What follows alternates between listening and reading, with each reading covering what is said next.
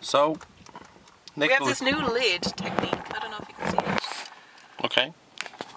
I've never had one of these before with this kind of lid. Oh, I got it. That's very difficult. And then look, it pops right in there. Convenient. Let's start the podcast. That's a weird lid to drink out of because the hole is all the way over there.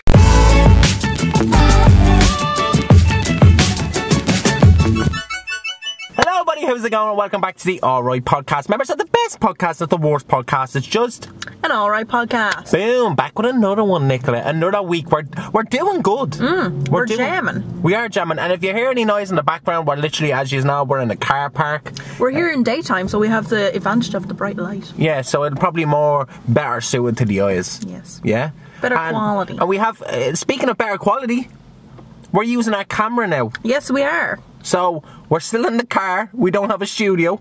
Um, This is our studio. This is our studio, uh, studio podcast in the car. We could we could have called a podcast in the car, but I think the alright podcast Yeah. is is It's enough. established now. It's established now. Yeah. So, um, yeah. So we have a few exciting things to say to you before we get into this week's topic. One, we have um, better equipment. Mm-hmm. Um, for now, we're not using the phone anymore. We're using the camera, so it's a little bit better for you guys, uh, better quality, and also we have the phone um, right here, so. Hopefully it's better audio. Yeah. Um, we'll have to look at the camera and then look, uh, listen. we'll have to listen Listen and look. listen and look Yeah. um, to see which one be better audio and so suited. But this is it. We're going to be doing it like this from now on Mm-hmm. um, for a while. I think we could get a studio eventually. Imagine that. Yeah, eventually we can have our own little setup That'd and be have like a table each and a microphone each. And a microphone and yeah, yeah. computers. The way we watch other people do it. I think that's the dream. Because it did start off, this podcast started off with just me interviewing guests on Zoom. Yeah. And then I took a break for a few months Mm. and now we're back doing it now. And I think it's much better when the two of us are doing it. It's I, I would say it's our podcast now more than just mine. Yeah, like we have that energy and we can bounce off each other and you know ask each other questions and stuff. So it's not just one person talking into a, a camera. It's- Yeah. I found that difficult when I used to do that. Yeah, I, I'd have to I'd say talk for would half be. an hour.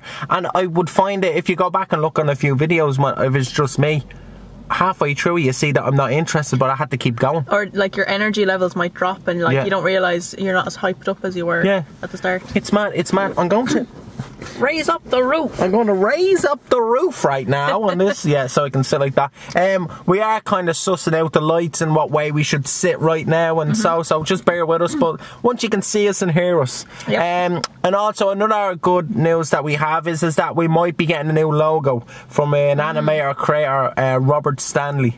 Um, so we'll leave a link down in the description to his work if you want to go check it out. He's really he's really good, and he's also Yeah. going to be doing something for us in the future that we can't say now, but hopefully we can say. He's part of the Dream Factory. Yeah, he's part of Yeah. Dream Factory Productions, um, our production company, uh, with all of our friends, and so um, and we're making a film at the moment right now, The Hitman. Um, we're going to be doing uh, funded that will hopefully be going live. So probably next episode we might have that Yeah. link out. We'll so leave that link whenever we have it. yeah, so um, the link will be down below, probably hopefully in the next one or the one after. And any anything that you can put towards it to help us fund our project, we'll be really grateful for. And we Uh, also have rewards as well. So, like, if you give a certain amount of money, you'll get a different award. So, say if you give like five euro, you'll get a reward. But if you give like say fifty euro, you'll get an even better reward. Yeah. So just watch out for those, and if there's something that you're really interested in, try and aim for that reward. Yeah, that'd be good. Yeah. that'd be good. Well, that's all we wanted to say, and I know it's like three minutes into an hour or Mm. so, but um, this podcast's only going for a half an hour or so.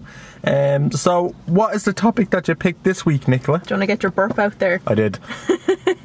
Sorry, I still have my Starbucks, and we had a panini. Yep. Uh, and so for today's order, it's a different order. I got a peach green tea. they seen it. They seen it at the very start because Oh, I edited in the video. So Yeah, yeah. they were seeing you struggling how They to drink it. They have a new lid, and uh, I never used this before, Hmm. and um, I quite like it though. You have to put your mouth like literally halfway over the cup, but I like it. Starbucks have. Starbucks is great to be honest. Oh yeah, I It's so good. Starbucks yeah. sponsor us, Please. Sponsor- If you want to see uh, some shots of a Starbucks coffee and all, my Instagram's down below, and Nicola's is also. Nicola Mm. I doesn't really few- post. I have a few Starbucks yeah, posts you there. don't. Yeah, but you don't really post as No, much. No, I post pretty much like once a month, kind of thing. Yeah, and I think that's better because I keep over posting, and I'm pretty sure people just don't even look at me stuff anymore. I look at it. You look at it Mm. because you're a nice person. Um, other people you. are just sick of uh, my posts at this stage because I do photography and I try to get you know. Yeah, but with photography, you need to post a lot because you need to show your work. Yeah, but it has to be unique. I'm just posting random stuff, like you know, kind of. At the start, I wasn't. I was kind of focused. But now, I just want to enjoy it. Yeah. I want to enjoy it, just taking photos and, and you, uploading. if you're happy with it, don't care about what anyone else yeah, thinks. that's true. Well, what's our uh, topic this week? Our topic for this week is around birth and birthdays. Birth and birthdays. Yeah. I didn't notice. so birth and birthdays. Yeah. So, which do you want to start with first? Well, I suppose you start I suppose we, birth. we start with birth. Yeah. Um, we do want to say disclaimer: we are not pregnant. Nope. Um, we're not having a baby anytime Nope. soon. Just letting you know. Nope. Um, so let's just, just in case there's any conspiracy theories going. Oh, why are they talking about this for? Um, because it's an interesting topic. it is an interesting topic. Hmm. Um, well, you can start off to kind of show me what what you mean by that for birth. Well, suppose obviously birth can happen in a couple of different ways. Like you have your normal, you know, biological birth. You could have a C-section. I think that they're the only two options, are they? you said loads. you can have in the water. You can have a normally. yeah, yeah. You can, Like having a birth, yeah, you can do it different ways. But I suppose the whole method of doing it, you only really have a birth or a C-section. if there's a pregnant woman watching this right now, or some a, a woman that was pregnant watching this, watching you explain that, they're going to laugh and go, "This Yeah. girl does not know. Yeah, she hasn't gone through it." no, I haven't gone through it, but like, Don't say you've seen on the. T- No, I wasn't going to say that either. but it, it's it's a part of life, I suppose. yeah, of in a course. I think, is life. I think I'm going to start off with Hello, my name is Anthony Graham O'Reilly Jr. I was born on the 14th of July 1995, and that's my birth. Um, I was an okay kid, shy kid. um, I remember one time I went up to get a can of Coke in the shop and I tripped and fell and my can of Coke spilled out just after coming home from the dentist. I already said that. Mm. Uh, I already talked about that in an episode already, but I feel like I should bring it up again because it's very funny. And I have a story. oh Oh. my god, no, wait. Oh, No, wait, what? before we get into birth. Right, Well, this got to do with birth because this person was born. right. Right. Isn't Listen, everyone born? Listen, everyone's born right now that's watching this. Listen. I went over to Starbucks the other day in Liffey Valley. Oh wait, wait, wait, wait. Okay, yeah, okay. Yeah. And there was this woman, and she was an elderly woman, and she was in a wheelchair. And she had shopping in her hand, and she was pushing with one leg, and I was like, oh god, I feel so bad, like I feel terrible. Mm. So I had my earpods in, I was kind of, just walking by, and so, and she goes, excuse me, and I goes, and I took my AirPods out, and I goes, she goes, excuse me, and I goes, yeah, and she goes, could you wheel me down to the bus stop? I know. That And I story. said, yeah, no problem. So I grabbed the back of our Wheelchair. uh, wheelchair. This only happened a few days ago. So I'd say about Thursday or something, yeah? yeah, Wednesday, Thursday. yeah. And I was walking with her. and I had my mask on. So it was very hard to hear me. And what happened was is that she goes, It's a lovely day, isn't it? And I goes, Yeah, it's lovely. And out of nowhere, her vo- her her voice and tone changed, and she, and she literally sounded like the woman from SpongeBob. Joe it goes, chocolate. she literally changed her tone of voice and went, I can't hear you. Speak up. And I, and I goes, It's a lovely day, isn't it? And I was shouting at her. So we were both shouting at each other, walking down the road uh, with the restaurants, people are looking at us and we're having a normal conversation but shouting at one another because I thought she was deaf, but she just couldn't hear me because of my mask. Yeah. I then went down to the bus stop and there was the 40, the 76, and the 40, and she needed to get onto the 76, right? And she said to me, she goes, pull around the corner. She goes, pull around the corner and get up there, right? so I pulled around the corner and there was this guy in a wheelchair as well, right? And he literally, like for people that don't know, there's only allowed one wheelchair on Dublin bus, right? I don't know what it is for other buses, but on Dublin bus you're only allowed one wheelchair access, right? Mm-hmm. So the guy literally does this. Looking at me like that, right? Just staring at me, okay? He's just staring at me. And he's staring at me to tell me that he's been here before her and there's no way you're getting on this bus, so I need to get on this bus. Yeah. She says, go around him and get on the bus. So I start trying to do that, right? And she's like, speed up, me bus is coming. Remember, I was like Yeah. that and stuff. And He went in front of us, and she goes, "Go around him," and I goes, "I can't. He's he's there." But I had to go. I can't. He's there, and there's people at the bus stop at this stage. Everyone's watching you. Everybody's watching me. And the bus driver pulled up and he goes, he comes out and he goes, only one person wheelchair access. Yeah.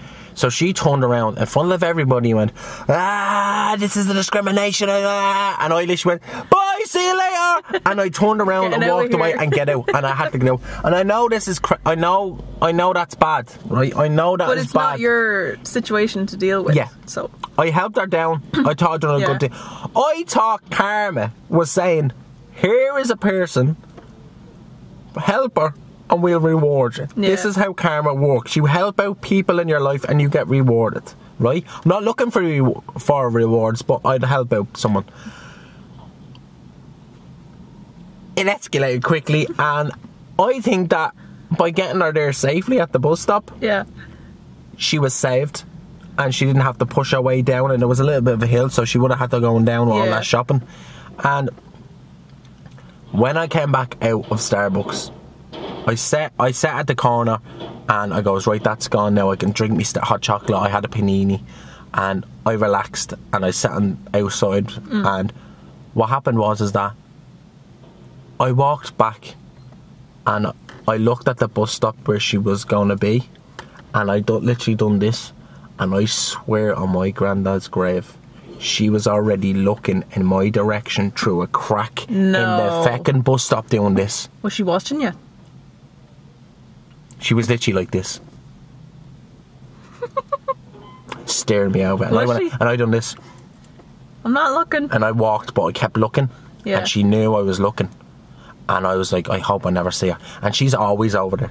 Oh, you've seen her before. No, when I w- was walking back to get my Starbucks after saying, right, that's me done. Yeah. And I, I turned around and walked away. I don't like confrontation, you know that. I don't like being in situations like that.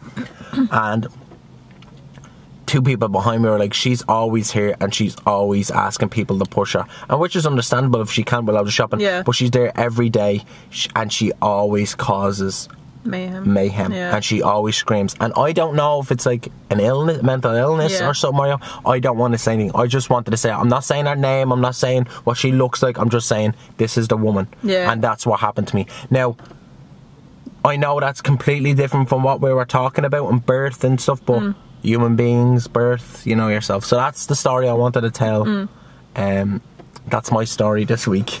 Um, if, if- Story of the week. story of the week um for likes that. Yeah but i was born on the 14th of july.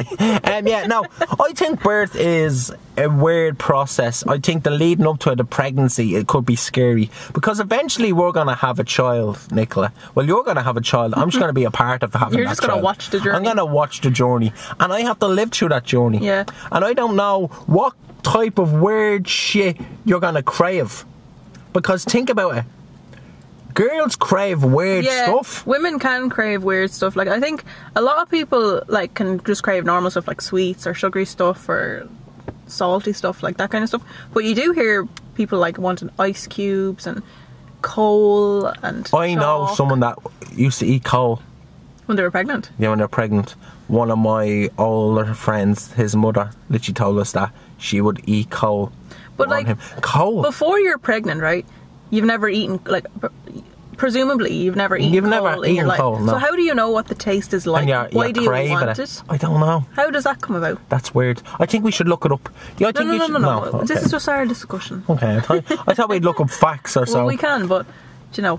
But yeah, like, where does that sensation come about? I don't know, and I'll never understand because I'm not going to be a pregnant woman. Thank God I was put on this earth as a man because women, I swear to God, you have it so bloody hard from you are menstrual cycles every month uh, to pregnancy and giving birth and have to popping out a big fat head out of a little tiny hole, and then you have to raise that and make sure that it's, it's just to society standards reasonably.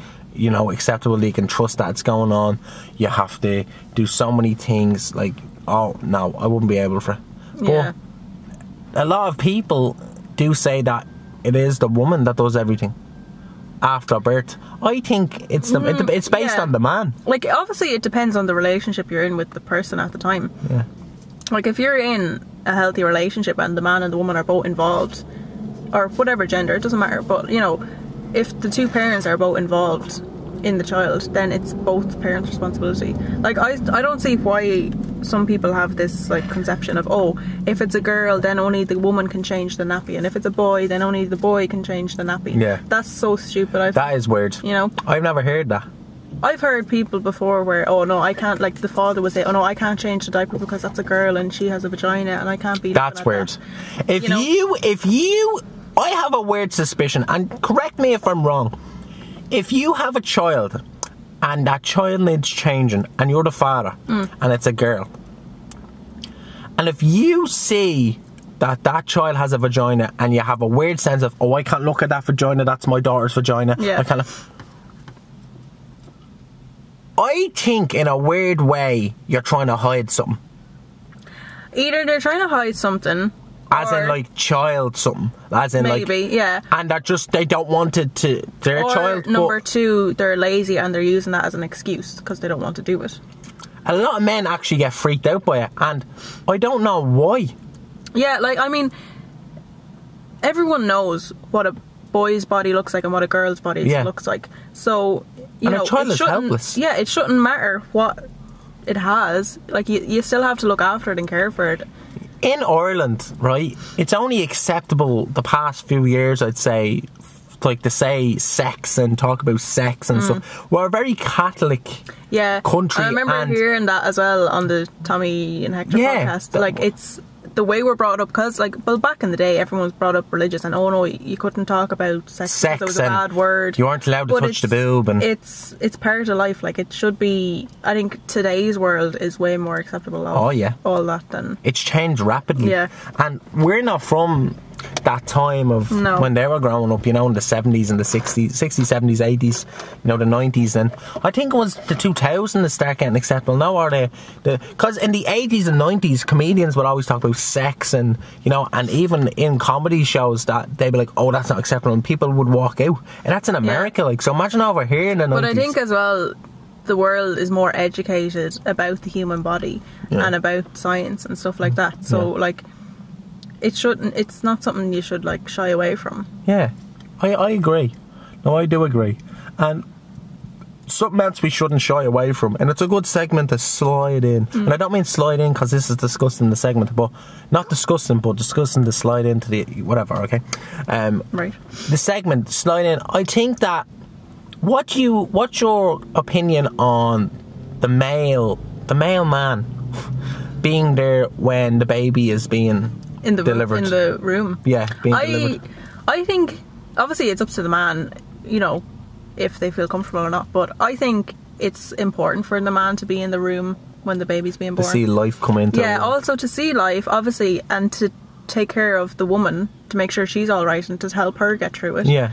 and also like to to witness that experience because I know a couple of people that have told me before, like men, grown men that have said they were in the room for either they were there by accident or they were meant to leave and the baby was just coming and they had to stay How'd you in for accident? I need to go to the toilet, no, no. and you walk in, you go, well, No, I remember this story. Uh, someone so told me before, like, um, his wife was giving birth, Yeah. and he went, he went to go get the, the nurse, like to go Yeah. call her. So he had, he was about to leave the room, but the baby was like on its way, so Hmm. he had to run back and help the woman. So he literally seen the whole birthing experience, and he said like. It was the best experience of his life. He could not. You can't take that away from someone. You know, it's only going to happen a couple of times in your life, depending on how many kids you have. Yeah. So I think it's important to be there to witness it. it's very sad that some people won't ever experience that because some people can't have a baby. yeah, and they or won't don't be able want to, yeah. or you and, know. and that's the thing as well. Like a lot of people are like say the likes of like someone is with someone for a very long time and then they find out they can't have a baby, but one person wants to have kids and Mm. then that kind of causes the relationship to Yeah, but you there's know, so many fades. other options than I know, but some people just own- mm. like I know adoption is so important. Like I think it's important that I think people should adopt, Mm. but it's just something different about your own. That's your own DNA mixing with that person's DNA, and you can see both of You're in that life. child, and Yeah. you go through that process. It is. It hits different. I'd say. I'd say Yeah. it hits so different. Yeah, I'd say it would, but like at the same time, if you adopted a child, you would treat it as if it was your own, Hmm. hopefully, and my ma used to um, foster children Hmm. uh, until they found a home, um, and I'm I'm used. I was used to having foster kids come in and out of the house. Yeah. and there was already five of us. Yeah, and then she done that, and we no, like I don't know how she done it, but if we were to adopt a child, and I know this sounds so terrible, Mm. right, to some pe- to, to people, but I'd, I'd, you know, as a person, you'd look after them, Mm. but I wouldn't have that love for it. But you don't know that yet because you've I never don't know because I've I've been around so many people and different people of different ages. Yeah, I, but- I couldn't. But I suppose when you were a kid, right?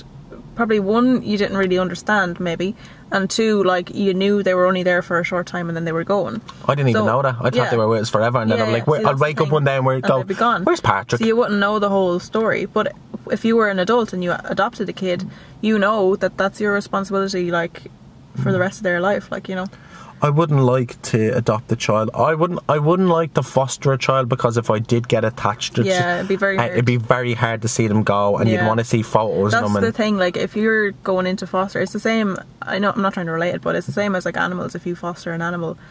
You'd have to be aware. it's nurture. that it- You're talking you're about nurture. It back yeah. eventually. We're not talking about oh, uh, we're not talking about oh, um, animals are the same as humans and stuff. It's it's the whole thing around that conversation is nurture. You're Yeah. nurturing a, a living thing, Mm. a breathing living thing, and whether it's a man or a woman or a cat or a dog or whatever, yeah. It's nurture at the end of the day. It's the emotion, it's Mm. Yeah. the feelings, and You're giving Yeah. them a safe environment to grow up in. and it's I think it's I think it's I don't know. I I said to you that I want to adopt Mm. a child when we eventually like when we have our own kid and then we can adopt a child as well, you know? Yeah. And kind of give them an upbringing. But we said not from a baby, kind of around five or seven or you know, like Yeah, well- some that can walk around, you know, walk, talk. Well, I don't really have any issue with age. I do because I'm not doing that whole. Like I want the child to be able to walk and talk, and I can talk to it, and I can say, "What do you want?" And they say, "Juice," and I'll go, But- "Let's go to the fridge and get some juice." But do you re- that's the thing that I kind of have a problem with as well. Like some people think, okay, a child only talks when it's like two or whatever, and it can tell you what it wants, like it wants a drink or it wants food or whatever. But I've seen it for myself. Like there is other ways of communicating to babies and children other than talking, right? Yeah. If you do sign language to a baby from a very young age, before they're able to speak, they can sign language you back and tell you what you want. I've seen it. Lovely. And I think that's a very important um, way of communication to give to a child a sign language. Because one, like first of all, they're a baby; they can't talk, so they have to communicate to you somehow. Yeah. And two, they can learn that language and use it in their life. Like if they come across, you know, someone that needs to communicate through sign language, they can do that and they can understand it. True, true. It's important. And well, come here. We're kind of getting off topic a bit. Um, So let's move on to birthdays. birthdays. Yeah. Whose birthday is it? Whose birthday is it? Whose birthday is it? Whose birthday is it? Um, it's today. It's my brother's birthday. Um, you're making a cake, Cupcakes. cupcakes. I don't know why you're making cupcakes. Because it's his birthday. Shocking. I wouldn't. Needs to have some form of cake on their birthday. Why are you talking like this? Because like every. it's essential. You're not Italian. Have you ever gone a birthday without having a cake? yes, many birthdays. And was it a bad experience? No, because I don't like cake. I don't like cake. You You, like know chocolate that. cake? Yeah, but I'm not a big fan of even chocolate cake. But everyone has a little bit I'd rather you get me a chicken roll on my birthday than a cake. A chicken roll cake. No, but give me a chicken roll and put a candle in it. Put them the whole way along the roll. No, yeah, but don't damage the roll Oh, enough. The crispiness of the roll. Yeah, yeah, don't damage it, don't damage it. Um, but yeah, birthdays. I've had good birthdays when I was younger, and I think when I got the more I get older now. Do you realise I picked up a green stick in between there during the week? Did ya? I was like, when did this get here? That's gone forever now. have to think about it. um, but my birthdays have. We've always celebrated birthdays in my house when I was younger and everybody else was younger. We'd get bouncy castles. We'd mm. invite the whole neighbourhood around, like literally on the road, not the whole neighbourhood, but the road. And we'd blare music and we'd all be on the bouncy castle and we'd have food and we'd be hyped up on fizzy drinks and Yeah, it's just it's just mad, and I have loads of stories about bounce, bouncy castles that I can say another time, and they all involve death. We all- Death? like as in we almost died near death So not death, but no, near near death. death experiences. Um, we almost did. did- Like bouncy castles are lethal, Oh yeah, and but trampolines so are lethal. Fun. Oh yeah, they're fun, but they're lethal. Yeah. And uh, I have so many stories about trampolines as well uh, that I could say, and I think I'll hold that for another podcast. um, but yeah, it was just. I don't know, like. like when you look back on your childhood birthdays, they were amazing. But a lot of people as adults, they don't like birthdays when they grow Yeah, up. Yeah, because we're realizing that we're getting older. yeah, that could be one thing. But some people just don't like birthdays. What hap- What happened with you when you found out you're going to be 24 this year or something? Or 20? No, it can be 25. You're going to be year. 25 this year. What did you, What were you like? It Remember? literally hit me because I thought I was only turning 24. And I was like, oh no. And you were literally old. sitting on the chair going, "Oh, oh no." How could this be? I'm actually turning 25. Yeah. I'm not turning 24. Oh, oh no. It wasn't oh, like that. Oh no. no. It wasn't that dramatic. But you're turning 26. So Okay. I still have another year on you. It's fine. It doesn't matter. Yeah. It doesn't matter. 25, No. 26, you're still there. yeah. Um, yeah, so I'm turning 26 on July the 14th, 1995. I'm not, that in mind. I'm not on 1995. We're past 1995 now. But it's so weird because I'm seeing that. Do you know Laurel and Hardy? Yeah. Do you know Stan, the skinny guy? Yeah. He was born in 1890 and he died in 1965, Right. right? Like, I would look at gravestones and see uh, 1970s and 1980s, Hmm. and it scares me because I know around that time in the 20s of like this era now, Yeah. that that's where, where my death day is gonna be Yeah. around them, and it scares me. And then people a hundred years from now will be looking back and like, whoa, they were born in 1995. That- We're born in 2057. Yeah, or 2090, 2095. Like, think about it. yeah.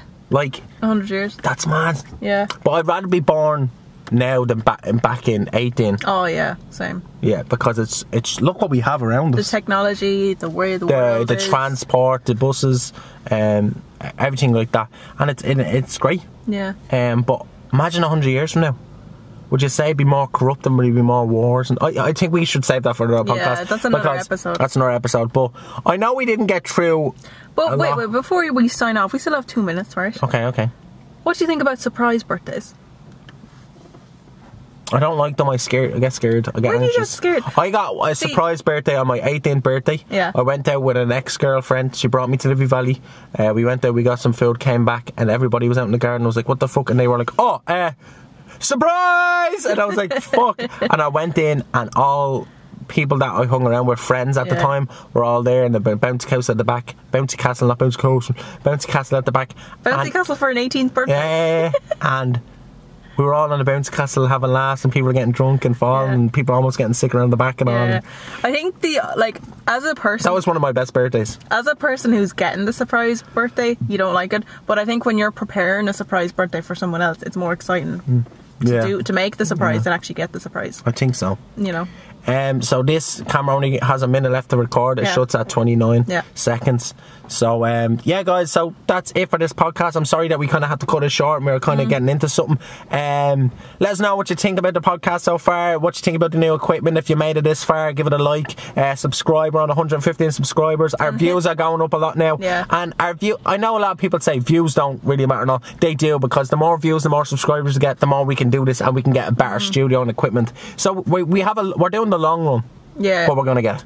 We want to get that audience connection and get our, our crew and our Yeah, our audience going. yeah. Right, guys. So thanks for watching another ep- week's episode of the Alright Podcast. Remember, it's not the best podcast, not the worst podcast. It's just An alright podcast. guys. Thanks so much for watching. Remember, smash that uh, like button and also that subscribe and hit the notification bell. Guys, my name has been Anthony, I'm Nicola. and it's been an Alright Podcast. Guys, thanks for watching and bye. Bye.